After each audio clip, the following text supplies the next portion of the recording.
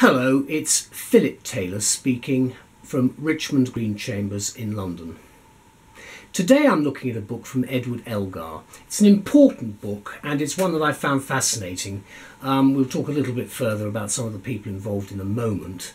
The title of the book is a research handbook on secured financing in commercial transactions. Bit of a mouthful that. Secured financing in commercial transactions. So it's business and it's about money and it's about securing funding effectively. But we'll talk a bit more about what the book means in a moment. It's been edited by Frederique Dahan. I hope I've pronounced the name correctly. It could be Dehaan, but uh, Frederique Dahan. It's Edward Elgar Publishing Limited as the publishers, and it's the Research Handbooks in Financial Law series uh, with the European Bank for Reconstruction and Development as uh, co-sponsors. Uh, the book's available as both a, a, hardback book, which we'll look at in a minute, it's over there, and uh, also as an e-book. And you can get it electronically on the Elgar online site. Um, my wife Elizabeth and I have written this review, and for our review title of the work, we've given it this, a stimulating and diverse series of essays on secured financing law, which is of great help to the international financial community. And that's really what the book is about in our view. It's a hardback. It's, there you go, back, spine, and then there's the back there. The front, sorry, and then there's the back there. It's a heavy-ish book. It runs to just over 500 pages. There's an index. Of course, it's an edited book, so it's got a lot of contributors. Uh, but you will see at the end of it that you've just got the, the index there. It's quite a substantial index. Then if we go into the, the book itself, you've got, um, you've got quite a lot of footnotes in various different places. You do, for most of the contributions, have paragraph numbering, so it's easy to find, but the actual index itself is actually page numbers, as you can see there. The front of the book, there's the front page there, and then you've got, that's the series research handbooks in financial law from Elgar. And then you've got the book itself. Elgar are an independent publishing family firm, and they are very high quality publications, and they're first class without any doubt. There's the detail about Elgar Online, should you need to look at this online. Then you've got the contents section.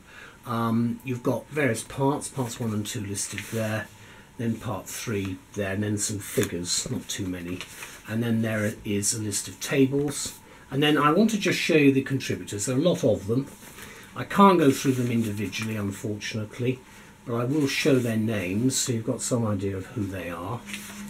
There we go. You can see them there.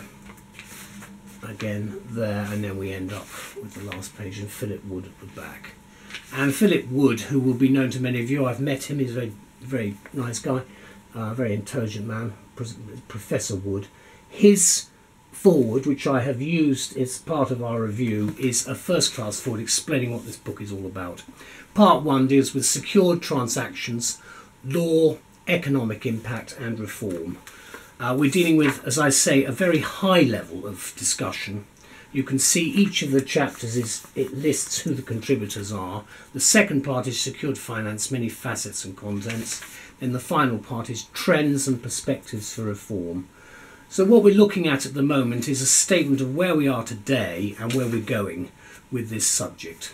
Now let me just go through the review because uh, when I looked at this, like probably many people, I thought, well, what is this about? Having met Professor Wood and read some of his books, um, I found I was in a different realm, very high style of writing, and uh, areas which I didn't have a lot of experience of, and I had to think very carefully about what some of the points were that people were, were making before I fully understood or even partially understood some of the points in this sort of pretty rarefied area, if you like, of um, secured um, financing funding.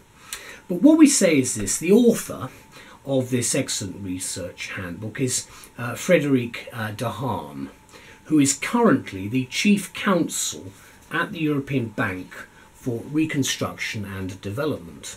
And Dahan, therefore, is one of the most qualified experts in this field, this legal field, to review the law and the practice relating to security um, interests.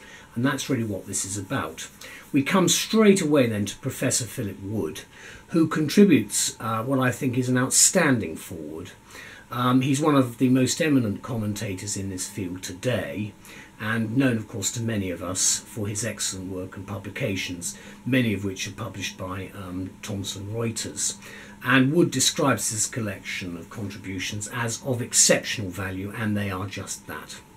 Now, what Wood does is he gives five reasons, and with respect to him, I've, I've actually summarised his five points about why um, this book is important as a research handbook. And let me run through them. One, huge amounts are involved in security interests, which are often seen as unlocking capital for uh, beneficial development. And that's the first point that is, is looked at. The second point is the contributions in these essays discuss the rationale for security interests and the extent to which they can be justified.